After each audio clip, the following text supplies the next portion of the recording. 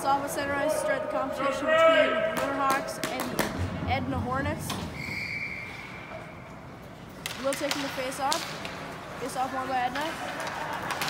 Moving up the wing. Devon's the kick out for across. Stops. No one. Now picking up the corner, taking down money. Over to Jack. Jack stopped on the boards. Jack taking on it. Moves towards the net. He stops. Jack moving the puck now. Out of his zone. He's going to bounce off the boards for himself. No offside there. He's going to take it at the net. And it's just going to miss. Now the corner. Throwing towards net. No stick there to reset the pass. Puck goes around. It's going to be picked up by the Hornets. They're going to move it out of their own zone. Dylan's going to get right on it. Coming towards net now.